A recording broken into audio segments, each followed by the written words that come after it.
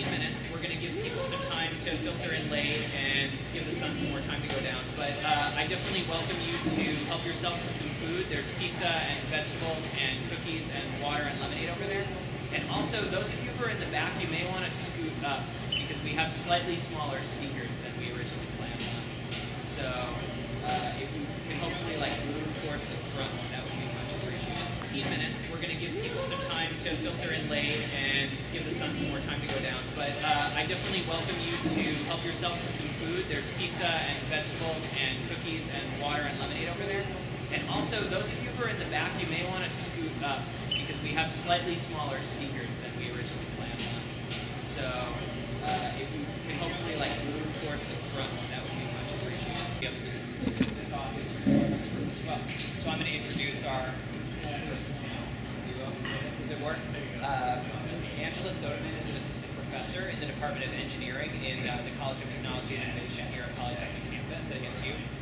Angela came to ASU from the Department of Electrical and Computer Engineering at the Air Force Institute of Technology, where she did research in artificial intelligence and machine vision in collaboration with Air Force Research Laboratories. And so we have a real-life robotics expert who's possibly building the bionic woman. So look out if any of your friends like have Uh, Micah Lande is an assistant professor in the Department of Engineering as well in College of Technology and Innovation, and he teaches human-centered design innovation and researches how engineers and makers learn and apply a design process to their work. And he's been editor-in-chief of the Ambidextrous Journal of Design, producing issues that captured the stories of the people and the processes of design. And thank you very much, and I will let you it. All right, so we'll talk for, thank you for being here. Happy Valentine's Day. Uh, we'll talk for probably about 20 minutes, 30 minutes, and then open it for questions. Um, I, am so Angela is far more uh, based in what is actually real. Uh, I think for me, it's, it's a question of what is desirable. Maybe we could start with the bionic woman. How much of that is actually feasible and, and, and doable today? Well, let's see. For the in, in terms of what parts of the bionic woman we're, we're actually working on today, uh, I'm more interested in the aspect of the sensors. So of course she she has a bionic arm and she has bionic legs. I'm more interested in her bionic eye and her bionic ear. And um, we we actually are working on a lot of aspects of that. Not particularly to give humans um, you know, superpowers. I want, see, this is what I want. I want superpowers, super hearing, super sight. That would be awesome. So let's, let's imagine that, um, we go on. And now, being able to, uh, just see is, you know, maybe view a superpower. And, and that's the kind of thing we're looking at. Right, so maybe I would be asking for those for You might be asking for one for superpowers. But, um, you know, we have, we try to make cameras that can do all kinds of, of super, you know, detection of things and phones. We're just lacking in, in how we actually are able to interface that. Right, so I'm thinking of technology that I hear is out there, like Google goggles. be able to- You guys. Oh yeah, sure. Yeah, it's So- very So, large- we're just large we're just having a cabinets. private conversation. So like Google, Google goggles that can augment your the information that you get. And I, I know I, I kind of draw the maybe think of the line between what I can add to myself or what can then or what is something that is part part of me and can be in, in, in, invasive.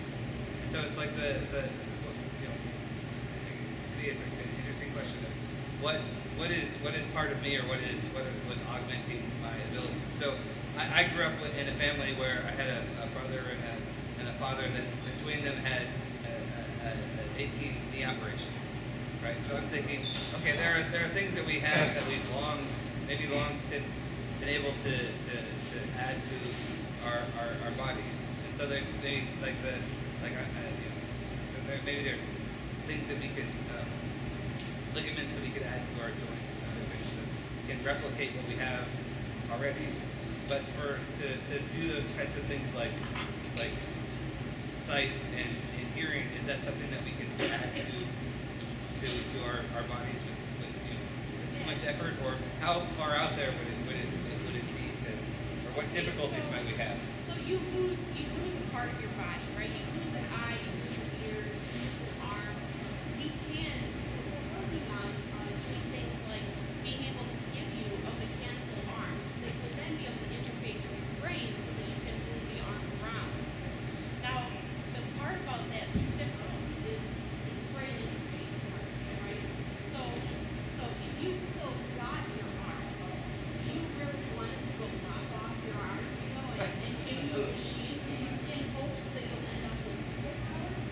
So,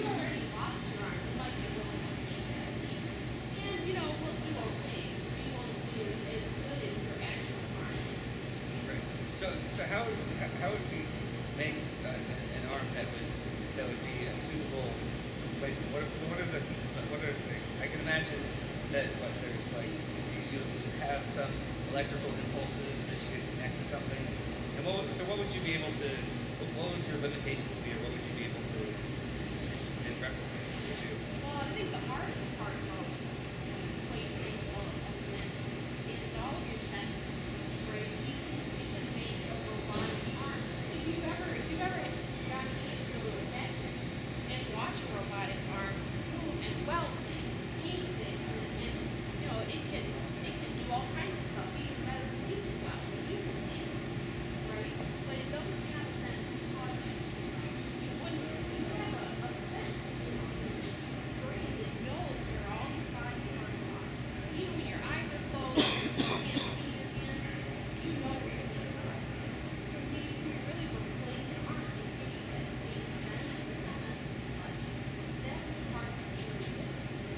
so I'm thinking of, I actually colleagues that do stuff on, on haptic feedback, and there's some ways in which to let you know when you, know, you have uh, an effector on a robotic arm that you're trying to control, if it's, if it, you know, to what force or what pressure it's, it's, it's, it's, it's at. But I'm, I'm imagining being able to grasp like a balloon or something and know when to, the limits and when to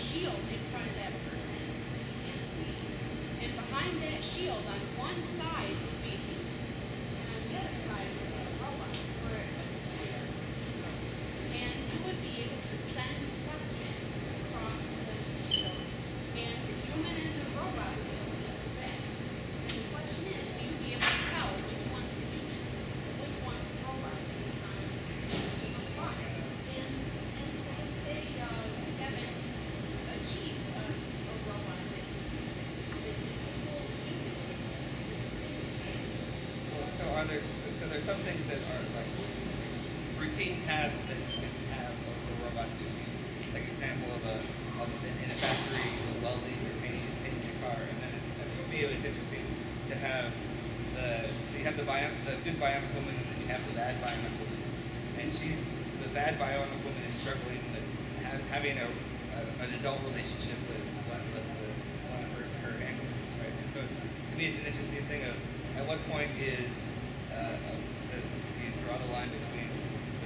balance between human and robot when it comes to emotion, love,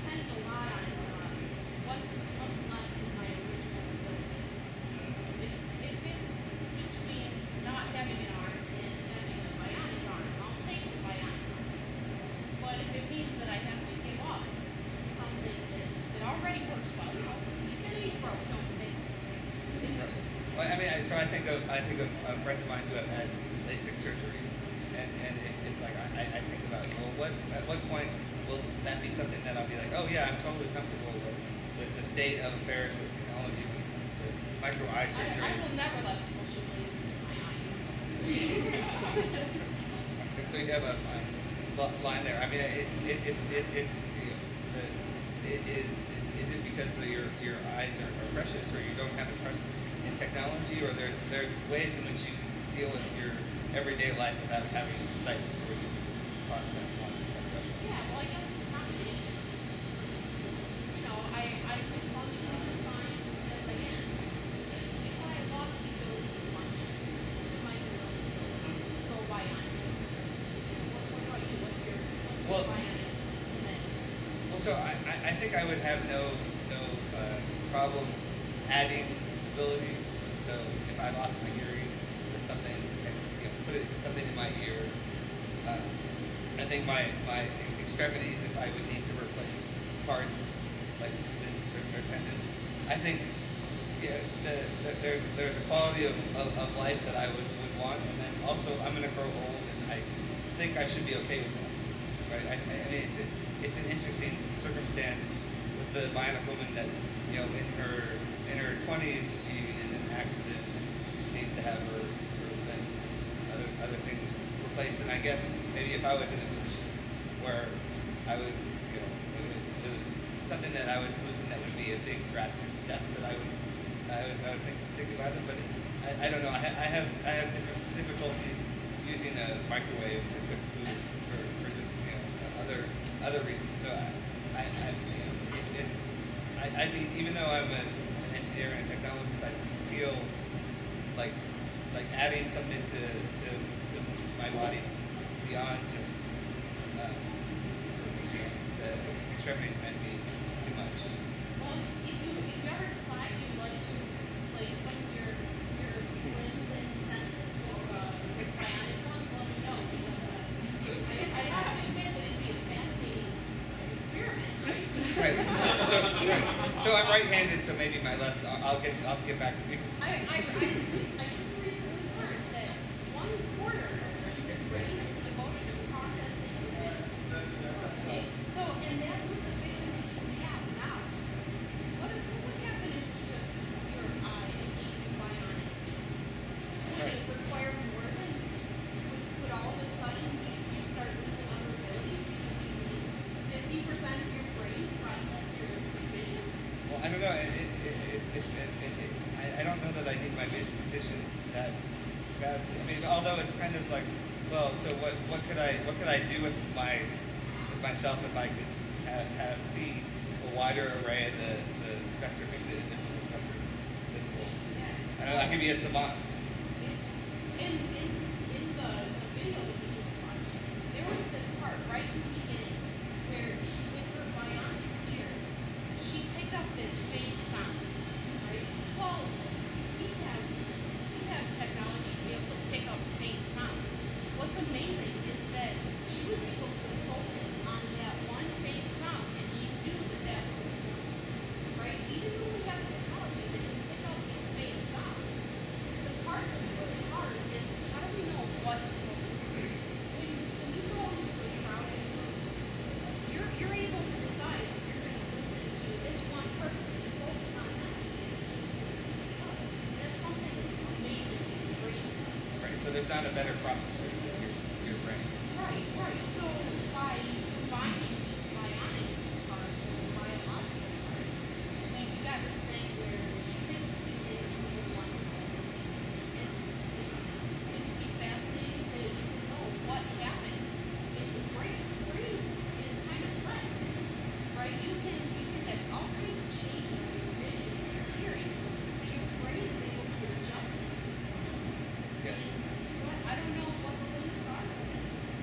surprised by how quickly she was able to wake up and go, oh goodness, my legs, I don't know what's going on with me, and then be able to do everything that she was able to do.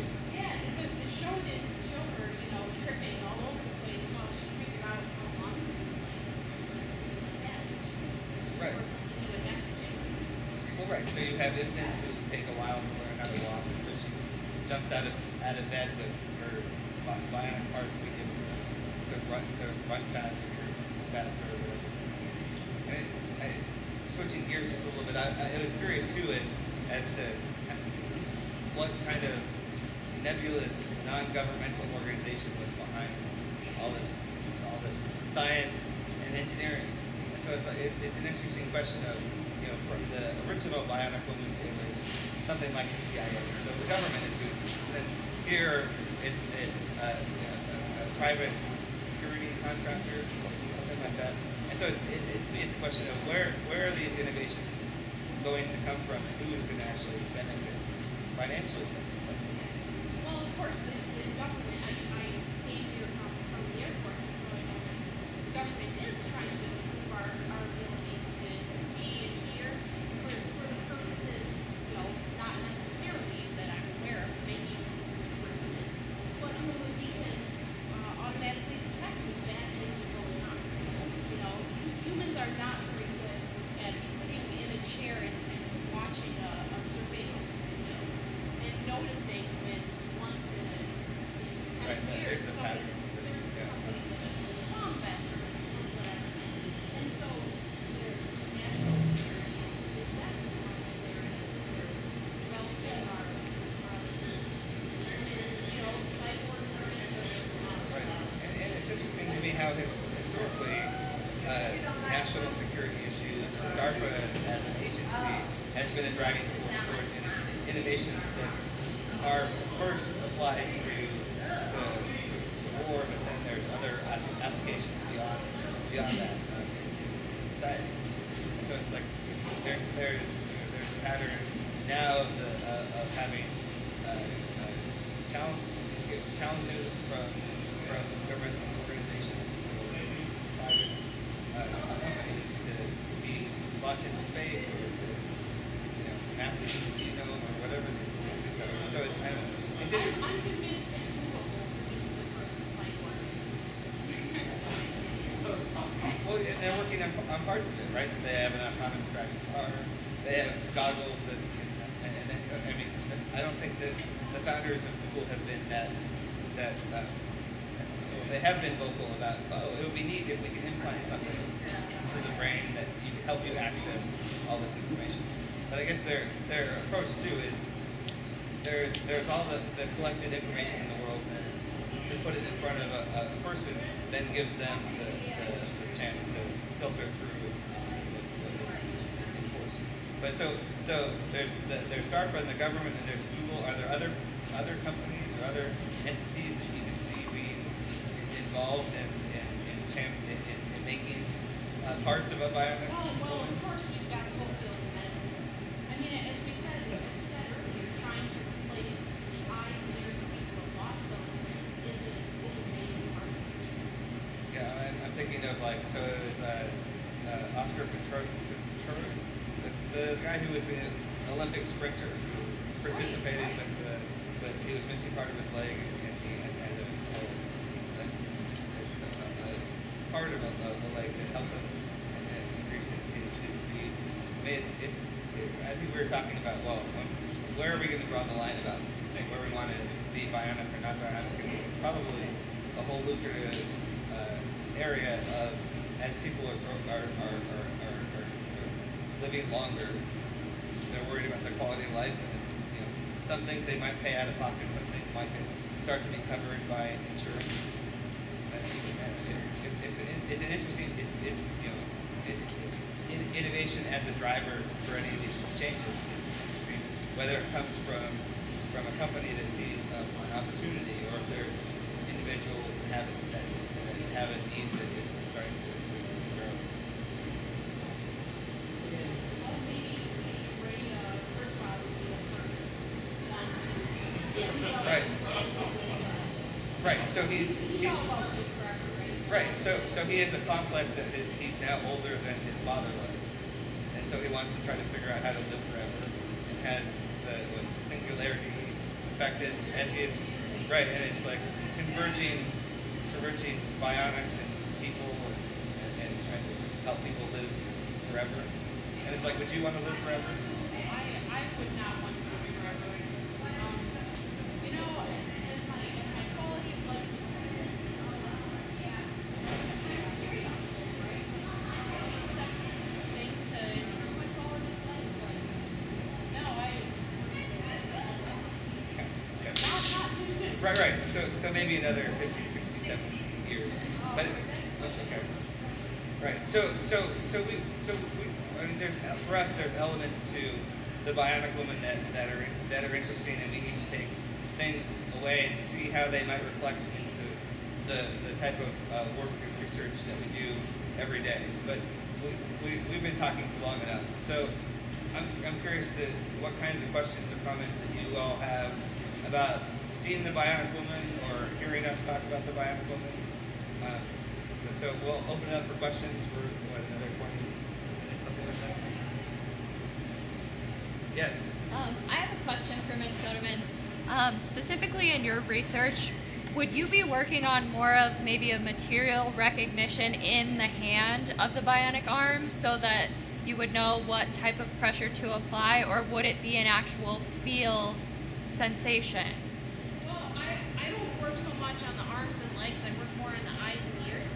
But um, there is a, a lot of research going into trying to identify uh, what things are by their touch or their or their texture. But it's not a thing where we're trying to let the person know what the touch or to, to actually experience it. Right? There's a difference between experiencing that this thing is smooth and getting an output on a screen that says this is smooth. you know, it's the this is smooth thing. That's where we're where we're getting close to achieving, not the I can feel that this is smooth. Okay. see any correlation between nanotechnology as a bridge gap between, uh, you know, like the bionic, uh, neural network?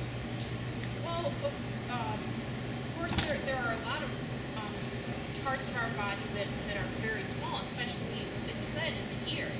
And, and we do have uh, technology to make, you know, replacements for the tiny bones in the ear that can connect. I I can't think of what it's called now, but for people who have, who have lost uh, uh, that ability to, to be able to manufacture the tiny parts. But if you're so that's that's one aspect of nanotechnology is just the ability to manufacture things that are really small. But then we've got like uh, MEMS, which are micro electromechanical systems. So not just that we're able to make little things, we're able to make little tiny systems, right? And and your body your body works like that. Have little tiny systems. So yeah, there's a lot of research going into that area.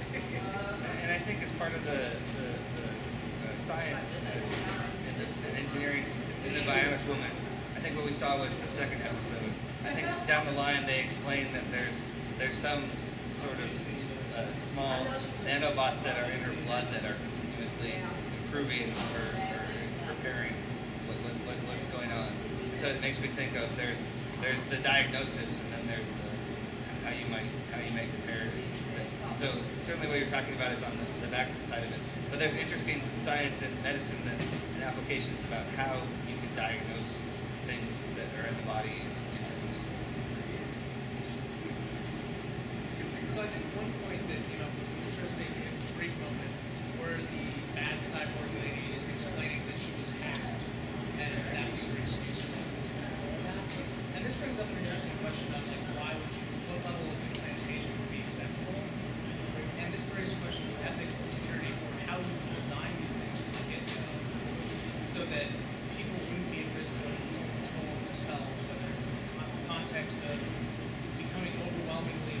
technology or literally having an outside entity control it.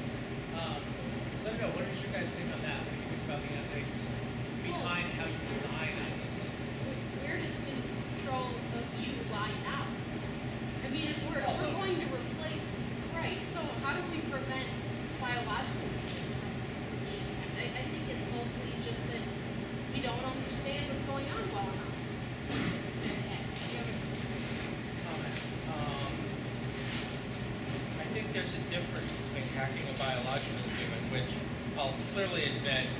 given some of the events that I've experienced, is entirely feasible. You can get people to do all sorts of things that are against their own best interests. Um, and an exploit against um, electronic or database systems. I spent better than a decade doing computer security in various roles. Um, and something that is as complex as that system would have to be in order to do what it does. Um, and something that has as much um, attack surface area as a system like that would have to have in order to do what it does. Um, the technology the technology required to secure something like that is, for all practical effects and purposes, the current state of the art, utterly indistinguishable from magic. Well, the, the technology to make something like that is also I understand, indistinguishable from magic. but so we're utterly uh, incapable of securing systems that are many orders of magnitude smaller and um, easier to secure. Let me give you just a brief example of what I'm talking about. I think it's tied to what you're saying as well. So there's all kinds of medical devices. We're talking everything from pacemakers to diagnostic devices that people tend to think would be great to have wireless access to because it's easier for the user to integrate and things like that. And what I'm talking about is not simply a matter of we need more information about it, but what are the decision-making processes that happen underneath the technology and underneath the science to determine whether or not you're going to do something and how you're going to design what you're thinking. Because when I first read about wireless access pacemakers, I thought that's really cool technology. Oh, Sounds like Jesus. What if someone hacks that just decides it's time for me to turn off your heart? I guess the first thing I should say is um, that been there, hacked that.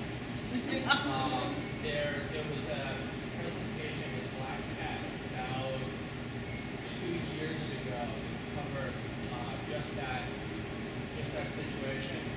I'm sure we will help the local search engine to be able to find it that great um, it wasn't something that I was personally involved in, but it's certainly something that I was following. from what I heard.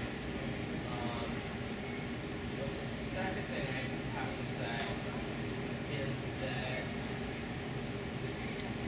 one of the things that concerns me about engineering and science is we have developed and are developing incredible tools, techniques, and technologies for going from what we want to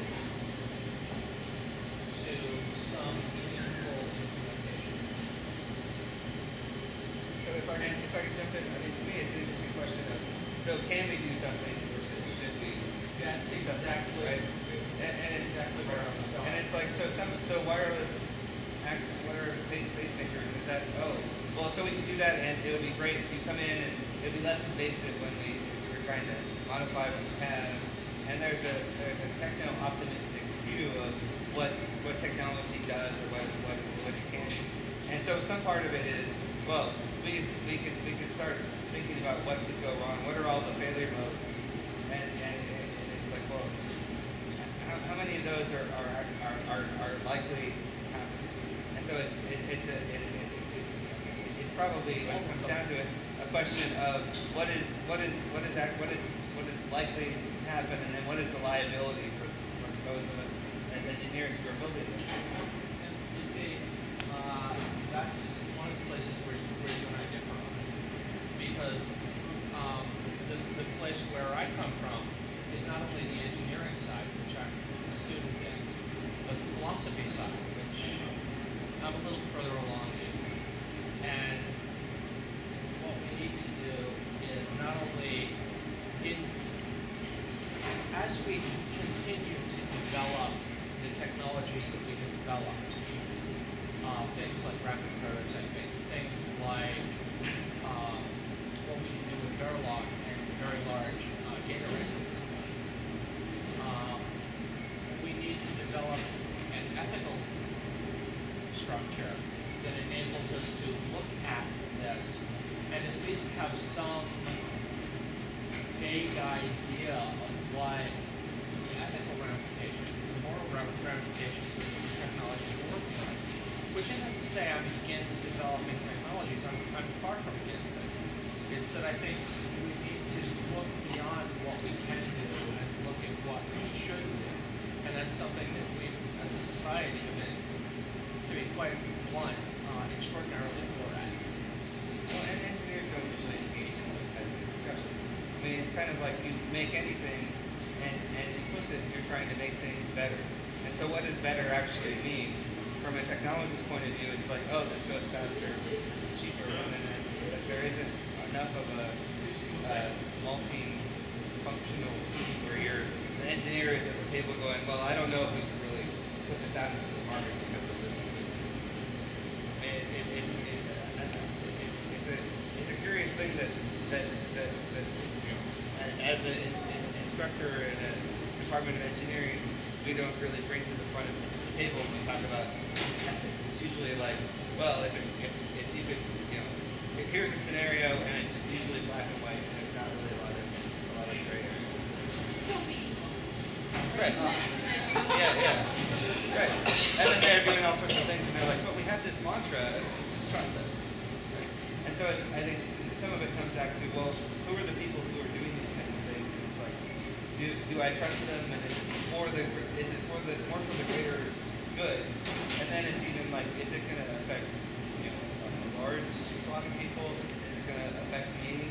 Is it is it actionable for, for me to do anything about Why it? don't you challenge yourself on that? Your first response on that was looking at liability, which was it's interesting for me to hear a designer people say liability is the question. Right. So in Bionic Woman, when she smashes that guy down against the wall of the car, and it's like, I think I broke her, her ribs broken. Like even there, like if you want to go liability route, like who's liable, the company or her? But if you go ethical route, like maybe there needs to be some kind of tension here that realizes she's bound by random judgments. Yeah. So And- and- and- it's and- interesting right. to think about what framework you're situating. Right, And so, and so, uh, yeah, I, I, I agree. I think, I, for me, it's, it's more interesting as the question, well, what is better than, than what are the possible, plausible responsibilities or ramifications? And I want to call you on something that you said. Uh, because, yes, engineers have been at the forefront of asking those questions. Speak up a bit. Okay, I'm very rarely asked to speak up a bit. My voice is usually more than loud enough, but yes, engineers have been at the forefront of that. Um, there were very, very, very serious discussions in the IPsec um, round of discussions in IETF, the Internet Engineering Task Force. There were very serious discussions um, of ethical and moral ramifications in the IPv6 discussions out of IETF.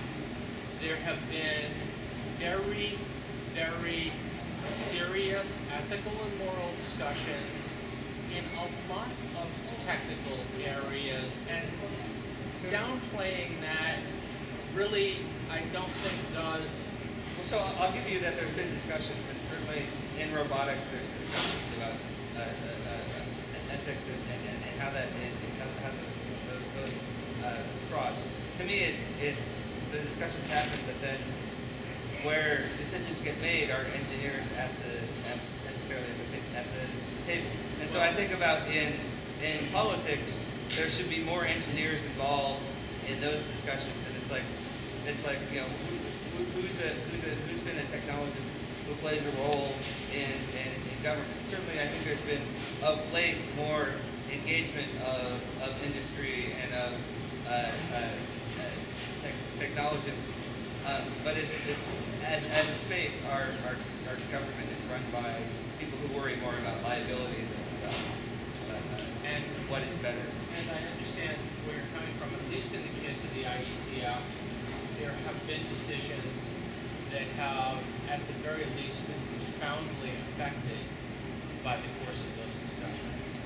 Now, were they entirely determined by the course of those discussions? No, and rationally you wouldn't expect them to be, and rationally you probably wouldn't even want them to be.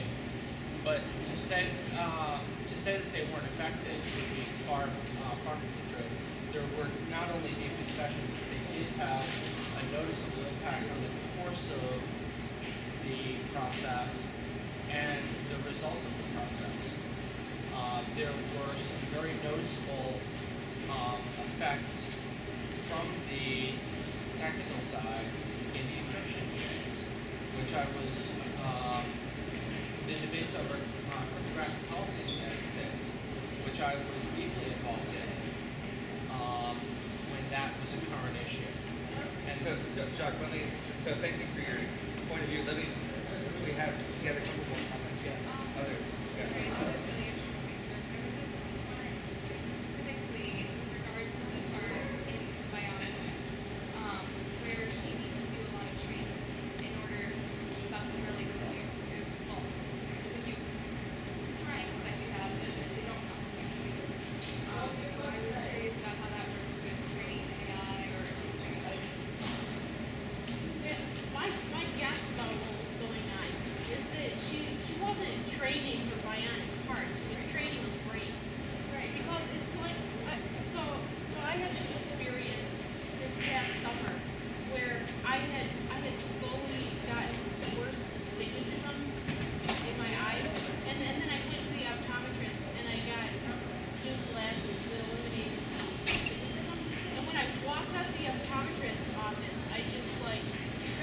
fell on my face because because uh, how I saw the world had all changed when I put on my glasses.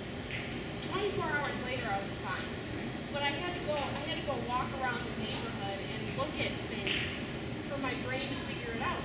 Just like if you've ever if you've ever done that experiment where you put on glasses and make everything go upside down, and then and then you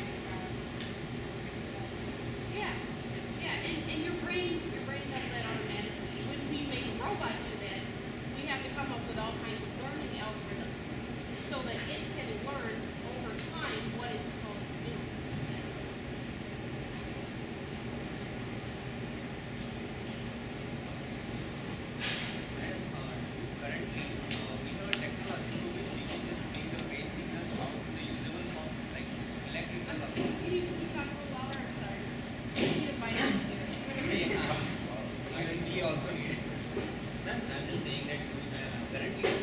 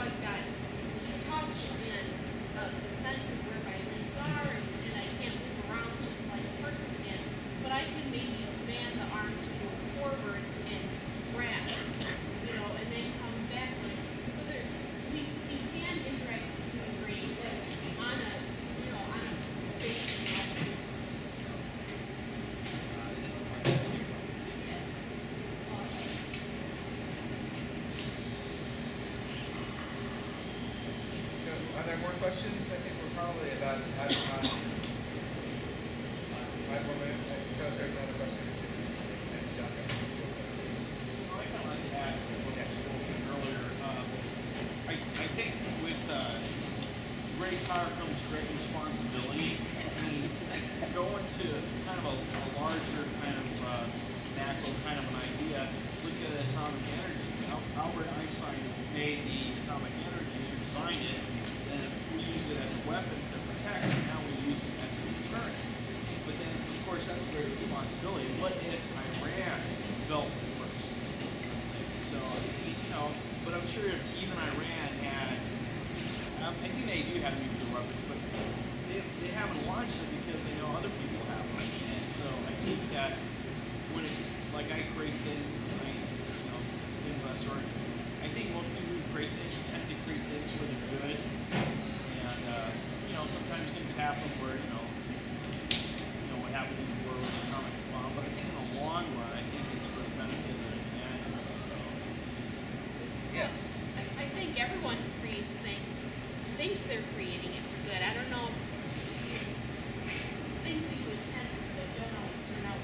yeah, I know that's more of a positive spin. But, Yeah.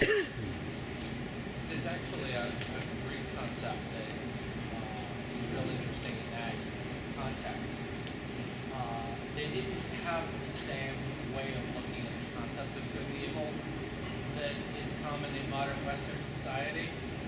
Their concept of evil is more along the lines of misplaced matter, uh, where something that we would call evil is would in- instead refer to as something good. You're trying to do something good, but it's in the wrong place.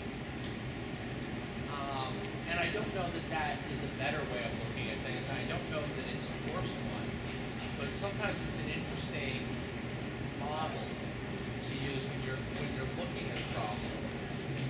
Um, but I'd say in general, I, I agree with you that people try to things for what they perceive to be good. And well, different perceptions get people in different places. And, and so, I mean, to extend, ex, extend the great power comes great responsibility. I think that's is that Spider-Man. Yeah, that's Uh, Spider-Man. right. And so it's like, in, the, in this, in the Bionic Woman, it's, it's kind of like a, she's kind of like a Peter Parker kind of character, where it's like an everyday person, and then all of a sudden something dramatic happens, and then you have these these skills and abilities. And so, in her case, it's it's super. I mean, as students, you're learning these learning things, and you're going to apply them in the real world. And it's like, to what, to what degree do you find yourself in a position where it's more altruistic and you want to have impact and make change, or if there's some financial remuner- remuneration, you want to have uh, make a difference in, in, in, in that way. And it's a it's a, it's a it's a curious thing of what what what knowledge do we have and what do we, we do with it, or if we watch something like the Bionic Woman, is it a flight of, of fancy, or is it something that is is something that is kind of scary as to how we interact with the world? So that might, I that might be enough. Okay. So thank you again for spending some time with us. Thank you so much for coming out. Uh, keep your eye out for uh, more science fiction TV dinners. We're going to be doing one in late March and one in April as well. And uh, March is going to be Twilight Zone. So keep your eyes peeled. It'll be Tempe campus that time. So for those of you who are local, you'll have to take a drive. Thank you very much. Have a great night and stay.